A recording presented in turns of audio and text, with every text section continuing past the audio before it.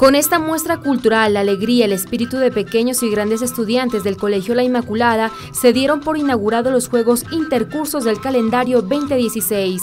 En el Colegio La Inmaculada precisamente fomentamos los valores, por ello el lema de nuestro evento deportivo es promoviendo valores a través del deporte. Fue una nueva propuesta, baile, coreografías, un carnaval estudiantil deportivo apreciado por un sinnúmero de padres de familia.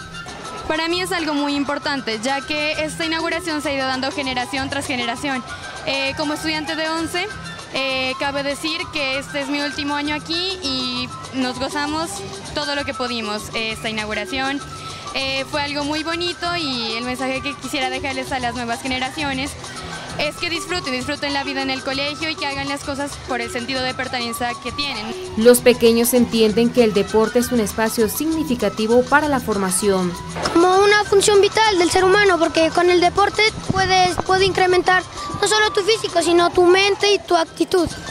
Deportista destacado de la institución encendió la llama olímpica sinónimo de compromiso y sana competencia.